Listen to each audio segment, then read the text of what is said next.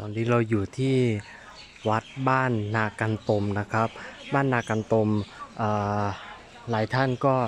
น่าจะรู้จักนะครับที่หลายท่านรู้จักก็คือเป็นวัดที่หลวงปู่สังสุริโยได้มาบูรณะแล้วก็พัฒนาขึ้นจนวัดบ้านนากันทมเป็นวัดที่เป็นศูนย์รวมจิตใจของชาวอำเภอ กันทะลักนะครับ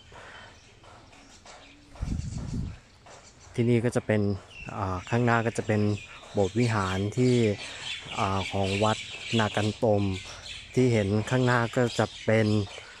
ท้าวเวสสุวรรณก็จะเขียนเอาไว้ว่าามามาร้ายยักษ์กัดกินนะครับ ก็คือรูปปั้นของท้าวเวสสุวรรณที่ปกปังปกปักคุ้มครอง เขตวัดเอาไว้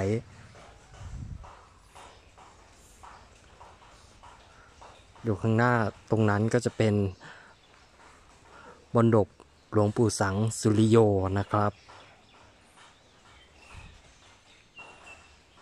ตามประวัติของหลวงปู่สังสุริโย ก็สามารถหาได้จาก Google นะครับผมก็จะข้ามประวัติของอท่านหลวงปู่สังสุริโย เอาไว้นะครับ ขอถ่ายสภาพโดยรอบของวัดบ้านนากันตม ให้เห็นว่าเป็นยังไงบ้างเผื่อหลายท่านต้องการที่จะมากราบไหว้ทำบุญที่วัดแห่งนี้นะครับ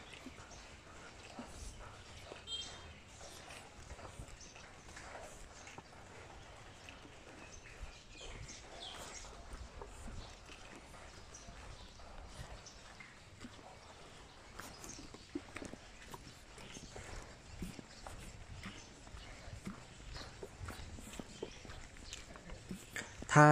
มาจากตัวจังหวัดศรีสะเกษก็จะตรงมาทางอำเภอกันทลักก็จะผ่านห้วยตาหมาย พอถึงสี่แยกสี่แยกไฟแดงที่ตรงเข้าอำเภอกันทลักก็จะเลี้ยวซ้ายก็จะผ่านผ่านห้วยตาหมายอีกด้านหนึ่งนะครับ มาทางอำเภอเบญจลักษ์ก็ตรงมาเรื่อยๆมาทางเส้นมุ่งหน้ามาทางเดชอุดมนะครับ แล้วก็ยูเทิร์นกลับมาอีก ก็จะเจอทางเข้าวัดนากันตรมจับพิกัดจาก GPS ก็สามารถจับพิกัดได้นะครับโบสถ์วิหารที่นี่ก็จะสร้างสำเร็จตั้งแต่ปี 2494 นะครับ ข้างบนก็จะเป็นรูปช้างสามเสียนกับรูปของ ระพุทธองค์อยู่ข้างบนนะครับ หน้าบันข้างบน